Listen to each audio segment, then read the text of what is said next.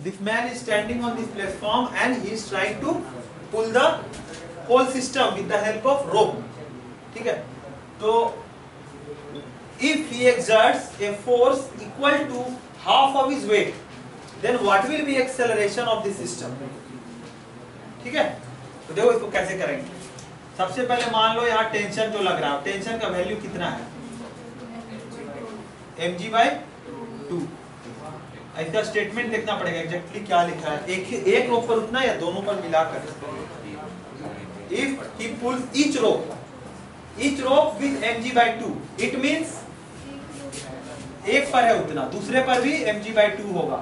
दूसरे में भी उतना ही टेंशन होगा। Now right the force on the man what are the different forces G by two दूसरा एम जी बाई टू दोनों टेंशन ऊपर की तरफ़ इसको खींच रहा है। फिर इसका अपना weight M G net force क्या हो गया आदमी पर? ज़ीरो इन तीनों को मिला के। एक नॉर्मल फोर्स भी नीचे से लग सकता है। तो नॉर्मल फोर्स तो ज़ीरो हो जाएगा क्योंकि बैलेंस हो गया टोटल मान लो नॉर्मल फोर्स ऐसे है। So by solving this three we can say the normal force will be zero ठीक है? इनके बीच यानी कि कोई फोर्स अभी नहीं लग रहा। अब देखो, ये टेंशन किसमें जा रहा है, इधर होते हुए प्लेटफॉर्म पर जा रहा है। अब लिखते हैं, ये था मैन के लिए for man now we will write for platform ठीक है? प्लेटफॉर्म में देखो, एक यहाँ से नॉर्मल से नीचे पुश करेगा, जो कि हम लोग ज़ीरो लिख चुके हैं ऑलरेडी इसका अपना वेट प्लेटफॉर्म का weight the weight of platform the normal exerted by man on the platform and two strings are pulling it upward. Mg by 2 and mg by 2 there are two equal forces from two ropes acting in upward direction on the platform. So n we are knowing as 0 and now this 3 if we add what we will get? 0 the net force on platform is also 0 and the man is also 0 so, the system will not move. System will remain at rest. System move नहीं करेगा. The total acceleration will be zero answer इसका भी गलत है. ठीक है, इसको zero लिखो. इसका ज़ीरो होगा. ठीक है? इसका आंसर ज़ीरो होगा. ओके थर्टी सिक्स नंबर देखो थर्टी सिक्स में क्या लिखा हुआ है? A as shown in figure a man of mass 60 kg standing on a block of mass 40 kg 40 kg के ब्लॉक के ऊपर एक आदमी खड़ा है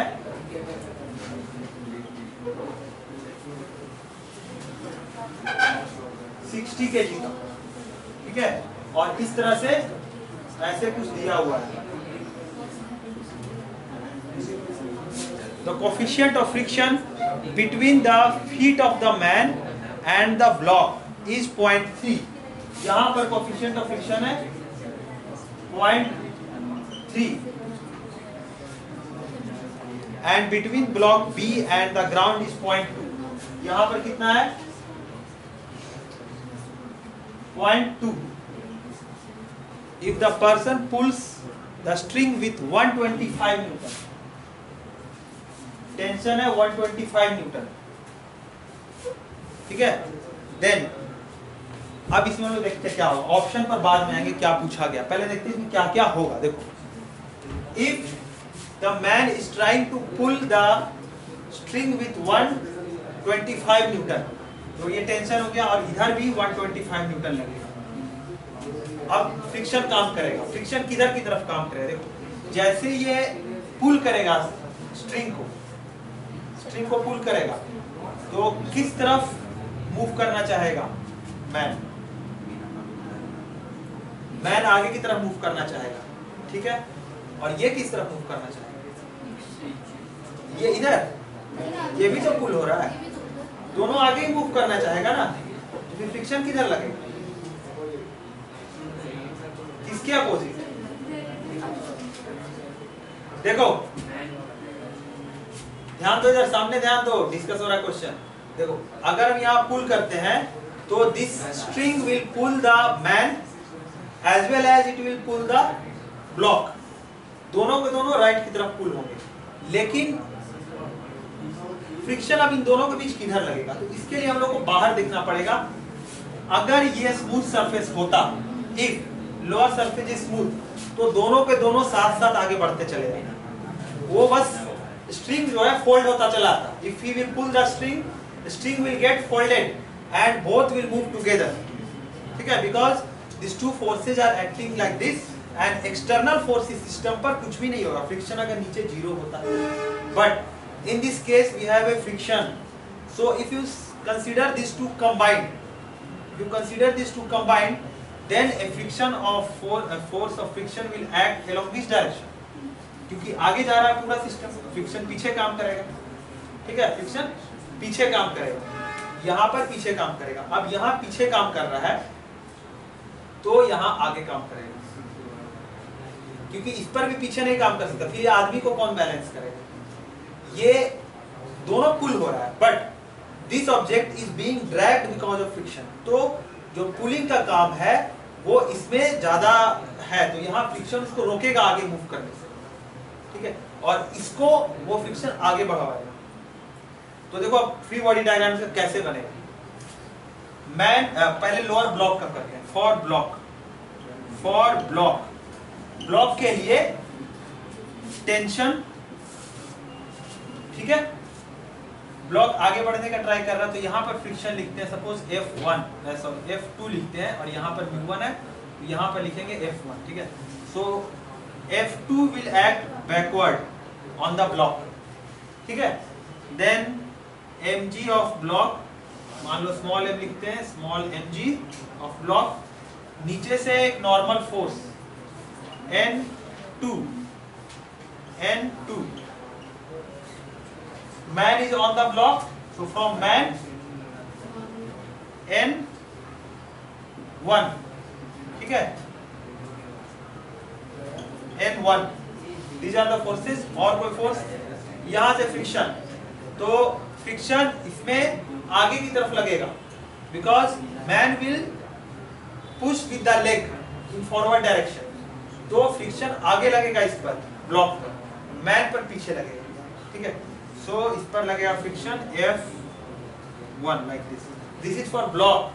And for man, if we write for man tension इस तरफ़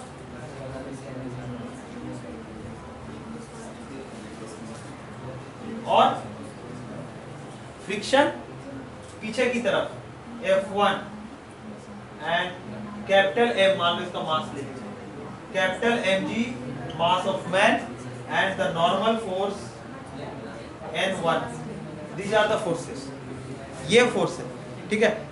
अब क्वेश्चन पर आते हैं। क्वेश्चन में पूछना क्या चाह रहा है? अच्छा इसमें है? मैन पर F2 तो नीचे का सरफेस पर है ना? F2 is on the lower surface it cannot act on the man ठीक है? ओके. नाउ हम लोग इसमें क्या क्या चीज़ पता है? देखो, हम लोग को फ्रिक्शन का मैक्सिमम वैल्यूज़ निकालते हैं। मास मैं आदमी का मास और सब पता है। तो फ्रिक्शन F1 का वैल्यू लिखते हैं। पहले F1 मैक्स कितना होगा 60 KG into sixty K G into ten six hundred newton into point three six hundred into point three one eighty newton F two max देखो, कितना वेट है टोटल इसका? 60 एंड 20 40 100 kg 100 kg means 1000 newton 1000 newton into 0.2 200 newton ठीक है this is the maximum force which can act अब यहाँ पर एक चीज़ देखो क्या क्या हो सकता है? देखो ग्राउंड से इसको 200 मिल रहा है। यहाँ पर 125 और यहाँ 125 तो पूरे सिस्टम पर कितना लग रहा है? कंबाइंड पर। 250 it means the system will move फिर से सुनो देखो मैं क्या बोल रहा हूँ। Two if we consider this combined अगर कंबाइंड कंसीडर किया जाए तो 125 यहाँ 125 यहाँ। Net pulling force is 250 and friction on the whole system is only from ground 200 so, net 50 newton force is there so, whole system जो है accelerate करेगा ही आगे की तरफ़। ठीक है? अलग अलग भी कर सकता है, लेकिन स्टैटिक नहीं रह सकता है। ठीक है? स्टैटिक नहीं रहेगा। अब देखो, हम लोग इसको एज्यूम करते हैं, मान लो, साथ मूव करने का मान लो एज्यूम की सपोज़ दे मूव टुगेदर ठीक है? अगर साथ में मूव करते हैं तो क्या पॉसिबिलिटी है वो साथ मूव करेगा या नहीं करेगा? तो नेट फोर्स कितना है? 50 newton 200 minus sorry 250 minus 250 newton इन दोनों का minus 200 divided by this is the net force divided by mass कितना है पूरे सिस्टम का? 100 so point five metre per second square this we are getting assuming they are moving together this we are getting by assumption they are moving together अभी हम लोग को check करना बाकी है। whether they will move together or not we have to uh, all the conditions of forces must be satisfied okay now ध्यान दो बात नहीं देखो नाउ कंसीडर मैन ठीक है अपर मैन को कंसीडर करो so this is the combined acceleration now for if you write only for man for man if you write the acceleration 125 forward ठीक है? अच्छा मैन के लिए कितना फोर्स चाहिए? फोर्स कितना चाहिए मैन के इस एक्सेलरेशन मैन के लिए कितना फोर्स चाहिए? Capital N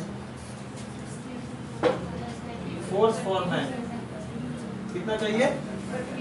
60 into point five thirty newton is required thirty newton is required तो यहाँ पर 125 लग रहा है। यहाँ पर 125 लग रहा है। लेकिन इस पर एक अपोजिंग फोर्स भी काम कर रहा है। तो 30 न्यूटन इसको मूव करने के लिए चाहिए। यानी कि इनके बीच मैक्सिमम 180 नहीं लगेगा। अगर हम कंबाइंड मूवमेंट लेते हैं तो अगर यहाँ 125 लग रहा है तो यहाँ पर फ्रिक्शन कितना लगेगा? उससे 30 कम करके। फिर से सुनो मैं क्या बोल रहा देखो। We have got the force which is required for moving the man with this acceleration. And that force comes to be 30 newton ठीक है now this fix uh, this force is fixed 125 newton and the man has only one other source of horizontal force only one other source that is friction from the surface ठीक है net कितना है 30 और ये वाला fix है 125 तो नीचे से फ्रिक्शन कितना लगेगा 125 minus 30 that is 95 newton. So 95 newton in which direction? Backward direction. तो फ्रिक्शन का जो मैक्सिमम वैल्यू हमने लिखा हुआ है 180 न्यूटन उससे तो ये कम है। It means the man will not slip on the surface देखो, हमने क्या किया? We need for man we need 30 newton force to move with this acceleration assuming common acceleration. Now 125 force is already there 30 newton subtract करके we are getting 95 so friction which can act with maximum that is 95 ठीक है? लेकिन जो maximum possible है that is how much 180 तो it means the man can easily stand on the block he will not slide ठीक है? क्योंकि required force for movement is less than friction less than maximum friction तो साथ साथ ही move करेगा। ठीक है? अब आगे का डेवलप करते हैं। आगे और कहाँ कहाँ कितना फोर्स लगेगा? तो ये फोर्स हम लोग को मिल गया। कितना है फोर्स फ्रिक्शन 95 अब ब्लॉक पर आ जाओ। Now for block for block block पर क्या क्या फोर्स है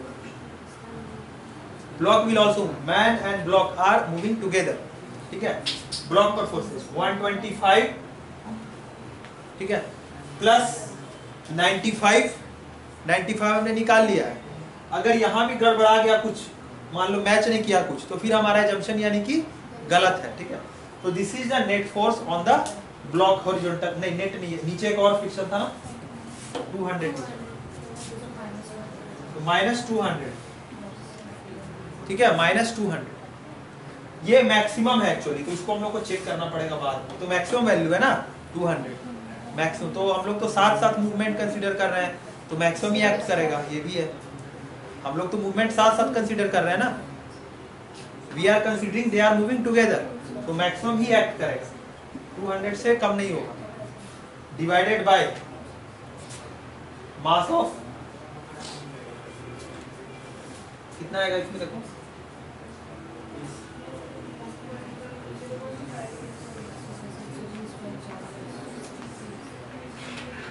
Two twenty minus two hundred twenty by forty point five ही आ रहा है, यानी कि मैच कर रहा है। ठीक है तो कोई प्रॉब्लम नहीं है। ये दे विल मूव टुगेदर ठीक है विद दिस एक्सेलरेशन वही आ रहा है, जो हम लोग निकाले हैं। It means the object and man will move together and what will be the different forces यहाँ पर 125 लगेगा, यहाँ पर 125 लगेगा फ्रिक्शन कितना लगेगा? 200 यहाँ पर फ्रिक्शन कितना लगेगा? 95 ठीक है? अब इसके ऑप्शंस में क्या क्या है? देखो, कौन सा करेक्ट है, कौन सा रॉन्ग है।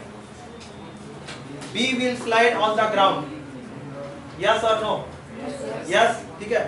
A and B will move with acceleration 0.5 yes the force of friction acting between A and B will be 40 newton. गलत है? The force of friction acting between A and B will be 180 newton. ये भी गलत है। 180 was maximum value of friction. That is not the friction. Actual friction is 95 ठीक है? ये बहुत अच्छा क्वेश्चन है फ्रिक्शन को समझने के लिए। फ्रिक्शन किस तरह से काम करता है? प्रॉब्लम किस तरह से हैंडल करता है फ्रिक्शन का? उसके लिए ये बहुत अच्छा एग्जांपल है। तो कॉपी कर लो।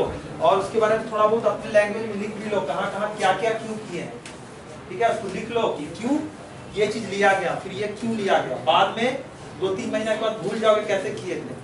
ठीक है तो उसको लिख लो थोड़ा थोड़ा कि पहले हम लोग टुगेदर लिए उसको, फिर उसका अलग अलग एनालिसिस किए। ठीक है तो अपने लैंग्वेज में लिख लो उसको शॉर्ट